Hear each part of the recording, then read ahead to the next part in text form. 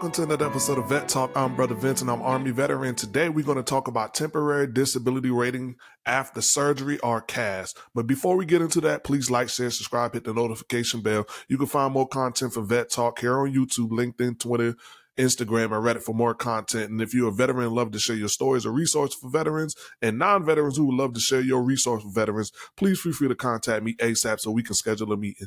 Now that we gotten that out the way, let's get into this topic, man. So today, man, again, we are talking about temporary disability rating after surgery or a cast. And I think this is a beneficial disability rating plan that you can get to where you're being temporarily paid at 100%. Yes, temporarily paid at 100%. So now I'm about to share my screen with you for all you listeners out there. And I'm going to go over and read this for all my audience out there who need me to read it. So this right here is called the temporary disability rating after surgery or cast. And it says, are you are recovering from surgery or a disability related to your military service that left you unable to move? Hmm? Is that you? You may be able to get temporary 100% disability rating and a disability compensation or benefit if you have this kind of immobiliz- immobilizing disability. Find out if you can get this benefit. So the question may you may be asking is, Brother Vince, am I eligible?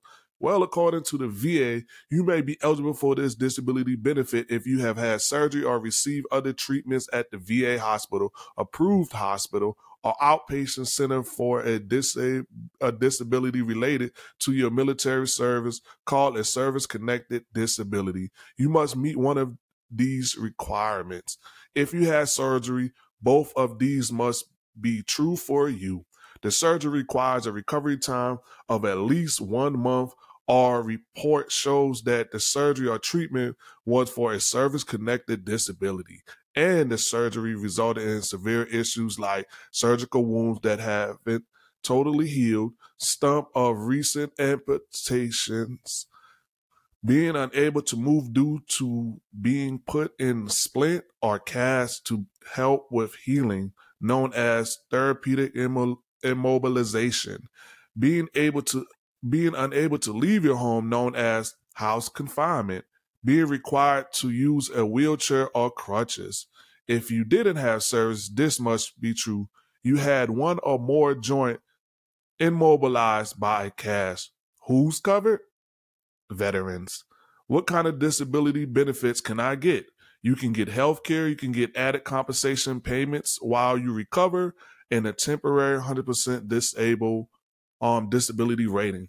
How do I get these benefits? You need to file a claim for disability compensation. Find out how to file a claim for disability compensation. Recovery time from either a surgery or immobilization of a joint by a cast without surgery requires a temporary 100% disability rating for a service connected disability. This temporary 100% rate may continue for one to three months depending on your unique case you may be able to get an extension for up to three months if your case is severe.